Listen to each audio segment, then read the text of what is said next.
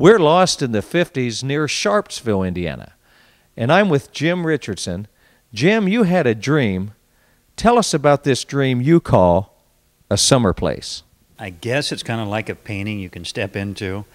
Uh, I love art, and um, I, a lot of times I'll step back and admire a painting and, and wish that I could actually step into the picture. And so one day, as I drove my driveway after driving around the countryside as I did every week and looking for remnants of the 50s, I thought, you know what, I think I'll just kind of create it in the backyard and people can step into it and step back in time. Well, what I love about this place is that everything is authentic.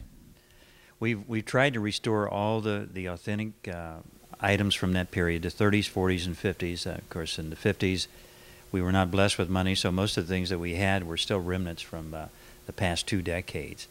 And uh, with rare exceptions, if it's something we can't find, we'll recreate it. But most times it's the authentic uh, uh, piece that's been restored.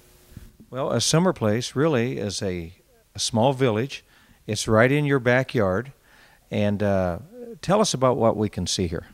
Okay, it's still a work in progress. We, um, uh, what we have completed so far is a standard station, a movie theater with a uh, uh, with a marquee that was put up in 1935 in Kokomo, Indiana, the Oasis marquee. We have a stainless steel diner that's actually a copy of two diners that were in Kokomo in the late 40s and early 50s. Um, although our diners are deeper, so it'll hold more people. We have a barber shop that uh, reminds me of the barber shop that I went to when I was a kid. Uh, we have a Mobil garage, a fire station, police station, and a train station.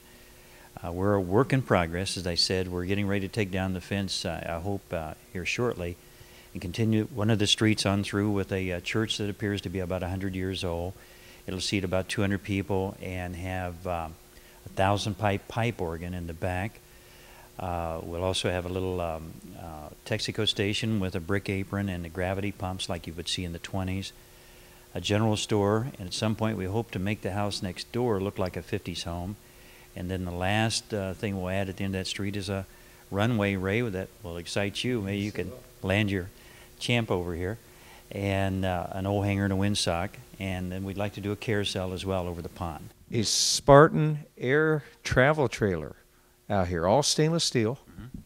Yeah, I bought that in uh, Tangier, Indiana. Everything works on it the uh, refrigerator, stove, the heat. Uh, we're in the process of restoring all of it. Hope to have that done in the next couple months here.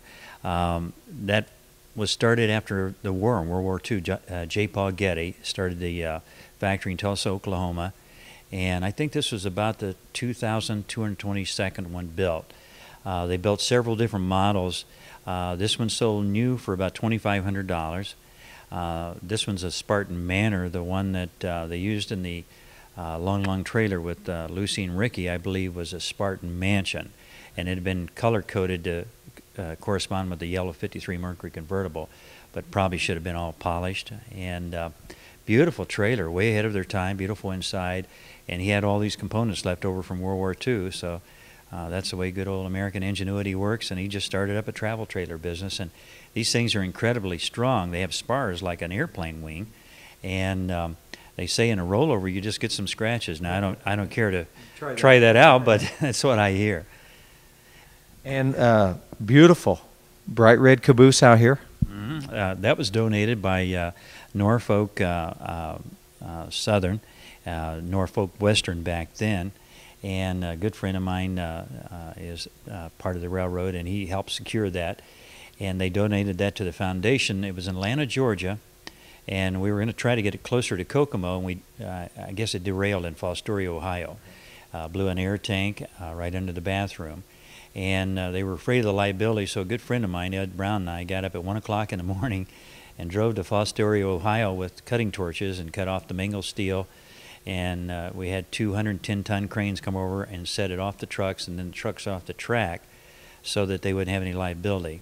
Yeah. Then we went back with three low boys, two more 110 ton cranes, then brought it to our location, picked up two more 110 ton cranes, and set it off on the track on the coldest day of winter last year.